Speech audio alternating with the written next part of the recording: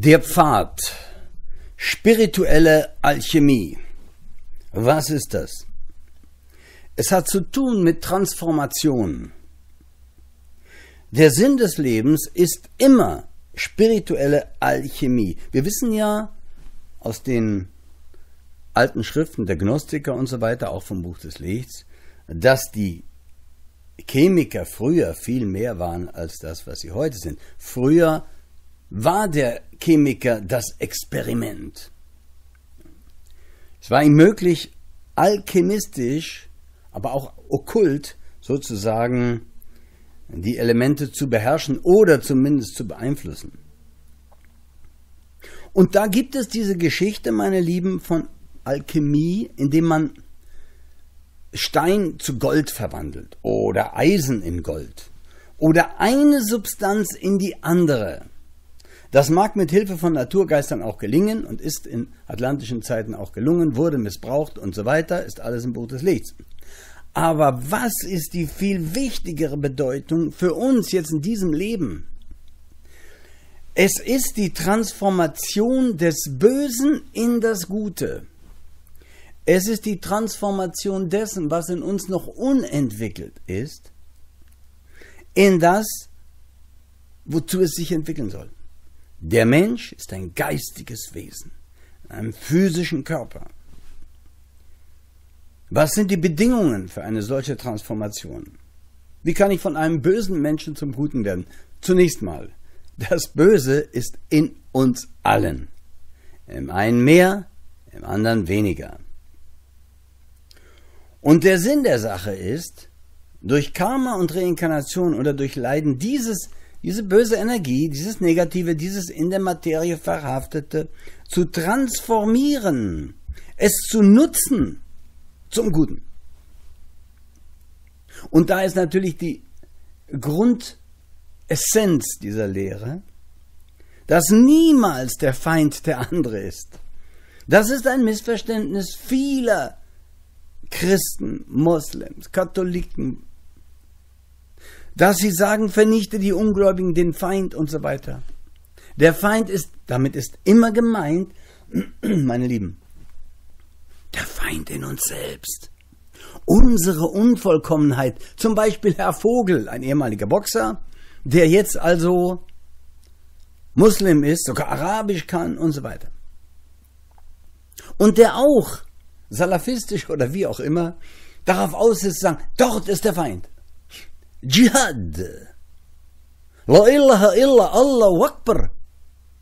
Mein lieber Herr Vogel, Sie verstehen wenig vom Koran.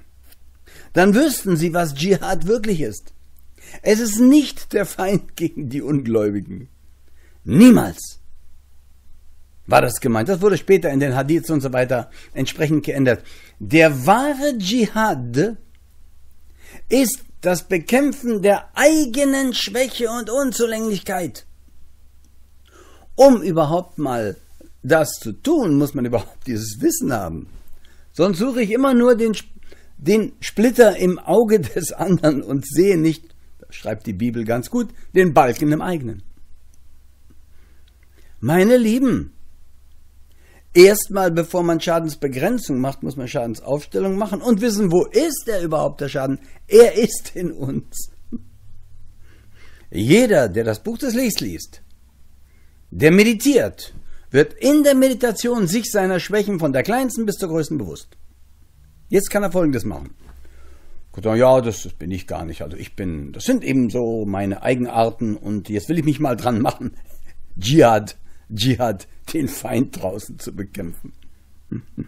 Und er ist wie ein Don Quixote, der gegen Windmühlen kämpft. Ja? Und so denken die meisten Menschen. Sie sind noch gar nicht bereit für diese Botschaft. Was ist ihre eigene Unvollkommenheit? Dazu müssten Sie natürlich, lieber Hörer und Hörerinnen, erst einmal zugeben, dass Sie welche haben. Wie erkennen wir die am besten? In der Meditation, im Loslassen. Da steigen, wie beim Fasten, Gifte auf. Wir werden uns bewusst, oh je, ich bin jähzornig, eifersüchtig, gierig, lustvoll, bin ein Trinker, was weiß ich, was man so alles ist. Mehr oder weniger. hafte ich an die Materie als geistiges Wesen und wundere mich dann, wenn ich darunter leide. Wie kann ich jetzt das loswerden? Und da kommen nun die verrücktesten Vorschläge. Einer der verrücktesten ist es, dass ein Gott oder ein Jesus dir deine Probleme und Sünden abnehmen kann. Das ist das perfideste, das perfideste, was es überhaupt gibt.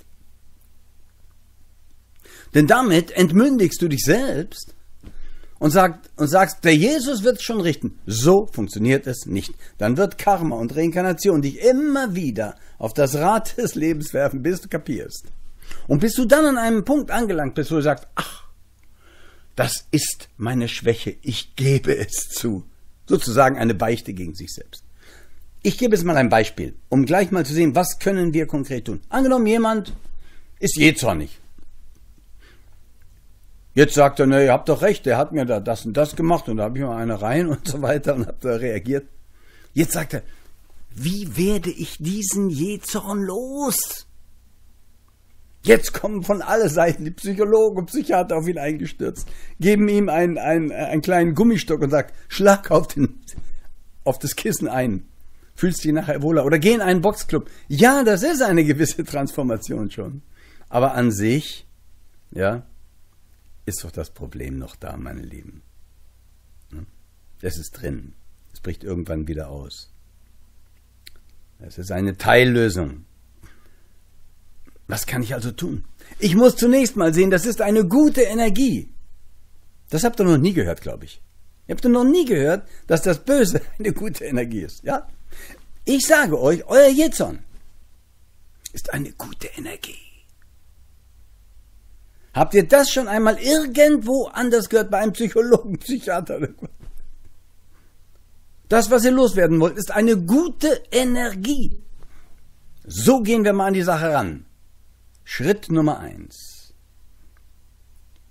Schritt Nummer zwei, nach dem Energieerhaltungsgesetz, Meyerschen Energieerhaltungsgesetz, ich nehme sie und wandle sie um, ich benutze sie.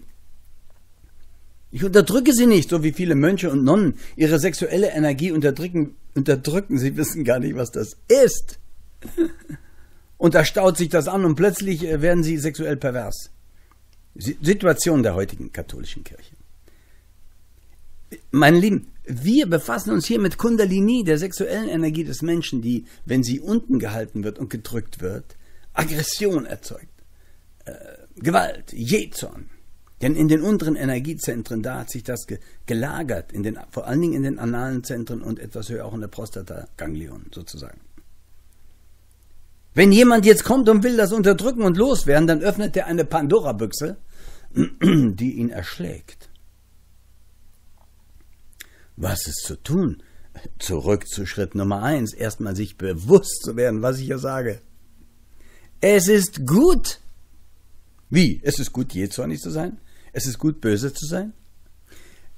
Die Energie des Jezorns und des Bösen und des, was auch immer uns bedrückt, ist gut. Jetzt nehmen wir sie und nutzen sie als Transformation. Das heißt, wir halten sie nicht mehr da unten. Wir lassen sie nach oben steigen in das Geistige. Wie tun wir das? Na, ein hasserfüllter Gedanke ist, ich hasse dich. Negativer Gedanke. Erzeugt mehr und mehr von der Energie. Ich liebe dich. Ist schon mal was anderes.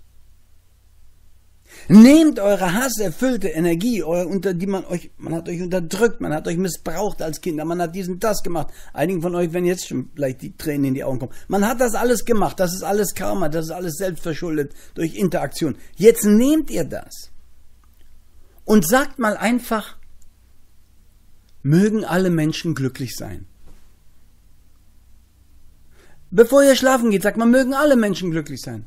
Ich wünsche allen Menschen alles Gute. Da wird natürlich auch die böse Energie kommen und sagen, nö, ich will unten bleiben.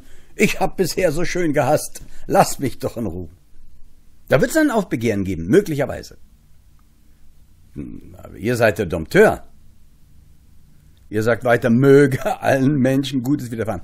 Und langsam wandelt sich die Energie. Jetzt, wie wandelt sie sich noch? Indem man das Buch des Lichts liest. Ursprung und Bestimmung von Mensch und Universum wir sind alle eins? Oh, warum? Ich denke, wir sind getrennt. Ich bin hier, du bist da. Nein, wir sind eins. Je mehr man das erkennt, umso weniger hat man Intention, überhaupt anderen zu schaden. Hin und wieder wird es wieder aufflackern, meine Lieben. Das Böse. Der Jezorn. Aber jetzt habt ihr schon mal einen ersten Schritt gewagt. Durch Kenntnis, durch Wissen. Das ist der Feind, der zu bekämpfen ist. In dem Sinne, dass ich ihn nicht töte, sondern ihn nehme und höher führe. Und dieses Hörführen, dieses Umwandeln ist spirituelle Alchemie oder Alchemie.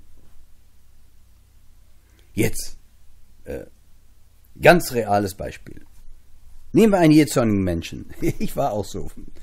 Ja, und zwar zu einem Extrem, dass ich mich wundere, dass ich noch lebe. Aber gut, so.